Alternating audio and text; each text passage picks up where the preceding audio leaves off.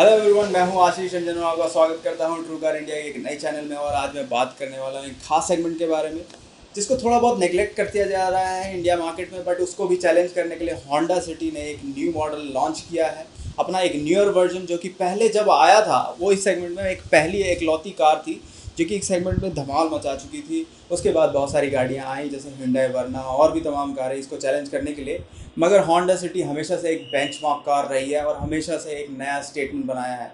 उसी स्टेटमेंट को बरकरार रखने के लिए इन्होंने अपने न्यू डिज़ाइन के साथ, एक चार्मिंग लुक के साथ इसको दोबारा पेश किया है। और ख़ास तौर पे जो कि इस प्राइस रेंज में एस मार्केट जो कि बूम कर रहा है, उसको चैलेंज किया है। स्टिल होंडा को लगता है कि इनकी ये कार इस प्राइस रेंज में सबको अलग तरीके से चैलेंज कर सकती है। तो उसके बारे में आज ज़्यादा से ज़्यादा हम डिस्कस करेंगे। उसके वेरिएंट एक्सप्लेनेशन के बारे में हम डिस्कस करेंगे, जिसमें आपको एक वेरिएंट से दूसरे वेरिएंट में क्या प्राइस डिफरेंस आने वाला है वो पता चलेगा। साथ ही एक वेरिएंट से दूसरे वेरिएंट में क्या आपको फीचर्स का डिफरेंस मिलेगा, वो भी पता चलेगा, जिससे कि आपके बाइंग डिसीज़न में आपको हेल्प मिलेगी। तो चलिए इस वीडियो को आगे देखते हैं और इसके बारे में बात करते हैं। तो सबसे पहले इस कार का एक ओवरव्यू जिसमें लेंथ है 4549 mm व्हील बेस मिलेगा आपको 2600 mm का, इसमें ग्राउंड क्लियरेंस होता है 165 mm का। इसमें चार दरवाजे और पाँच लोगों की बैठने की कैपेसिटी है और बूट स्पेस मिलता है 506 लीटर्स का और फ्यूल टैंक कैपेसिटी है 40 लीटर्स की। इसके अंदर आपको दो इंजन ऑप्शन मिलते हैं 1.5 litre petrol engine and 1.5 litre diesel engine और पेट्रोल इंजन के अंदर आपको ऑटोमेटिक वर्जन भी मिलता है, मगर डीजल सिर्फ़ और सिर्फ़ मैनुअल के साथ आएगा, जिसके स्पेसिफिकेशन आपको स्क्रीन पर दिख रहे होंगे। इसके अंदर पेट्रोल में माइलेज होती है सेवनटीन किलोमीटर पर लीटर और डीजल में माइलेज होती है ट्वेंटी किलोमीटर पर लीटर साथ में इसमें फ्रंट में डिस्क ब्रेक्स मिलेंगे रियर में ड्रम ब्रेक्स मिलेंगे, इसका टर्निंग रेडियस मिनिमम है 5.3 मीटर्स का। साथ ही इसके अंदर अलॉय व्हील्स बेस मॉडल से ही मिलते हैं जो कि 15 इंच के हैं और अपर मॉडल्स में 16 इंच के अलॉय व्हील्स मिलते हैं। और वीडियो में आगे बढ़ने से पहले मैं आपको गुजारिश करूँगा कि प्लीज़ हमारे चैनल को सब्सक्राइब कर लीजिए जिससे हमारा हौसला बढ़ता है और हमारी इस चैनल की भी थोड़ी तरक्की होती है। और चलिए अब आगे वीडियो में तो इसका सबसे पहला वेरिएंट है वी जिसका पेट्रोल में प्राइस है 10.94 लैक्स जिसके अंदर ऑटोमेटिक में अपग्रेड करेंगे तो प्राइस हो जाएगा 12.24 लैक्स जो कि एक लाख तीस हज़ार रुपये महँगा होगा और अगर आप डीजल में लेना चाहते हैं तो जिसका प्राइस है 12.44 लैक्स और इसके अंदर कोई ऑटोमेटिक का वर्जन नहीं आता है। इसी के साथ बहुत सारे सेफ्टी फीचर्स और बहुत सारे कंफर्ट फीचर्स इसके अंदर अवेलेबल हैं। आपको बेस मॉडल से ही फ़र्स्ट स्टार्ट करते हैं। इसके अंदर चार एयरबैग्स मिलेंगे, दो आगे की तरफ़, दो पीछे की तरफ़। साथ में इसमें टायर प्रेशर मॉनिटरिंग सिस्टम भी मिलता है और चाइल्ड सीट एंकर पॉइंट्स के साथ साथ आपको सीट बेल्ट वार्निंग सिस्टम भी मिलता है। अगर आप सीट बेल्ट नहीं लगाएँगे तो। और इसके अंदर A B S E B D brake assist E S P electronically stability control और साथ ही हिल होल्ड कंट्रोल और ट्रैक्शन कंट्रोल जैसे बड़े और प्रीमियम फीचर्स जो कि सेफ्टी के लिए बहुत इंपॉर्टेंट है, वो सभी आपको इसके अंदर अवेलेबल मिलते हैं।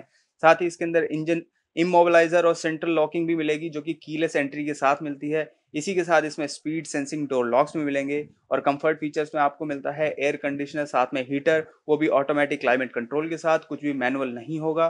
साथ में रियर एसी ब्लोअर और वेंट्स भी अवेलेबल है और इसके अंदर वैनिटी मिरर भी मिलता है, जो कि सन वाइजर्स के ऊपर होता है और ड्राइवर और को ड्राइवर दोनों के लिए ही अवेलेबल होगा। साथ में इसमें रिवर्स पार्किंग कैमरा मिलता है गाइडेंस के साथ और साथ ही पार्किंग सेंसर की भी सुविधा मिलेगी।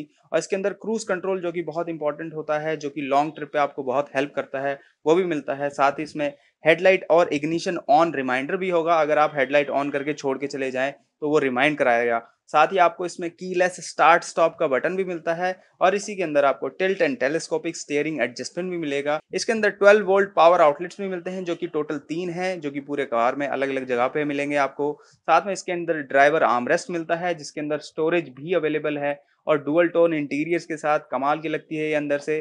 साथ ही में इसमें रियर आर्मरेस्ट मिलता है, जिसके अंदर कप होल्डर्स भी मिलेंगे आपको।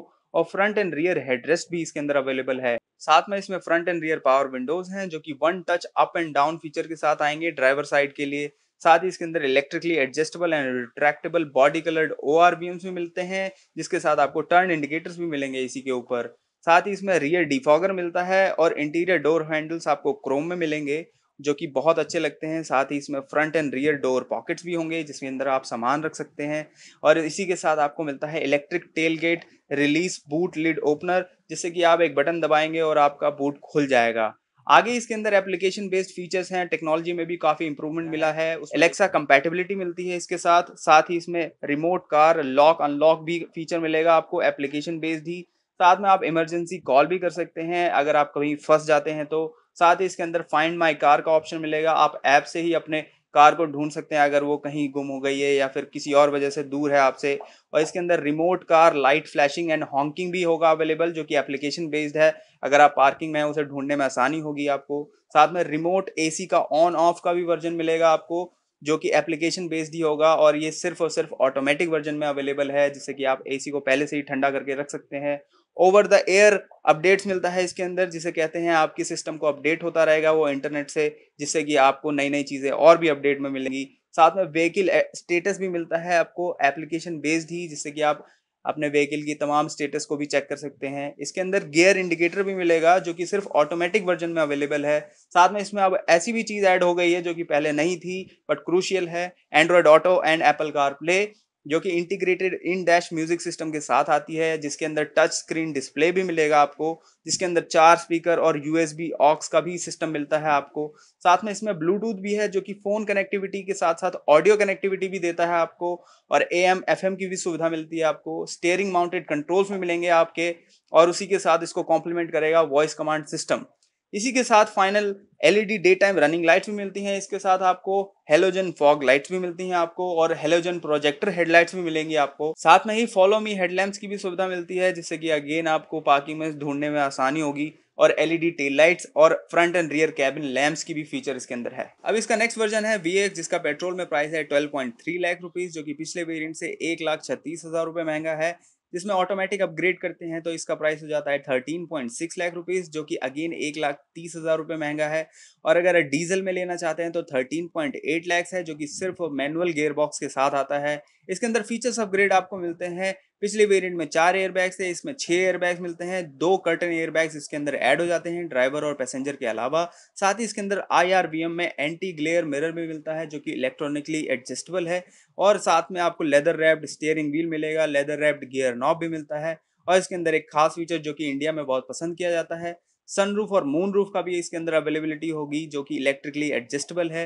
साथ में इसमें ऑटोमेटिक हेडलैम्प्स हैं, यानी कि अंधेरा होने पे अपने आप हेडलैम्प्स ऑन हो जाते हैं और इसके अंदर इंटीरियर में रियर रीडिंग लैम्प्स मिलते हैं, जो कि आप बिना डिस्टर्ब किए किसी को कोई किताब पढ़ सकते हैं।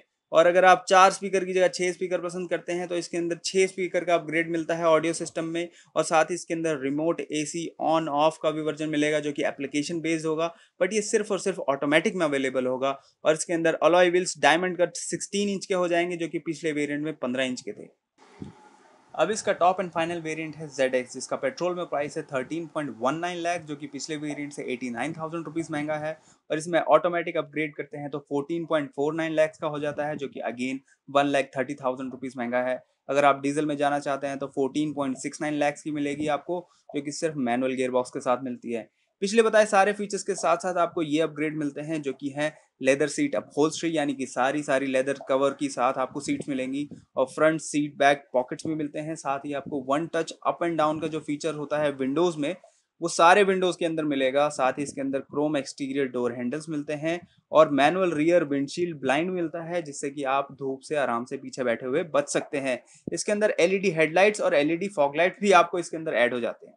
उम्मीद करता हूँ ये वीडियो आपको पसंद आया होगा और होंडा सिटी के बारे में बहुत सारी बातें पता चली होंगी और इससे भी हम आगे कंपैरिजन करने वाले हैं ह्यूंडई वर्ना का और भी इसके बारे में हम डिस्कस करेंगे और इसके साथ मुझे ज़रूर बताइएगा कि क्या इसका चार्मिंग लुक आपको पसंद आ रहा है, क्या आपके ये फेवरेट फीचर्स में से कोई एक प्रेजेंट करती है इस सेगमेंट में या फिर नहीं, क्या आप डिसाइड करेंगे किसी एस की जगह होंडा सिटी को लेना प्लीज़ कमेंट्स में अपना ओपिनियन ज़रूर बताइएगा। मैं ज़्यादा से ज़्यादा क्वेश्चन के आंसर करने की कोशिश करूँगा।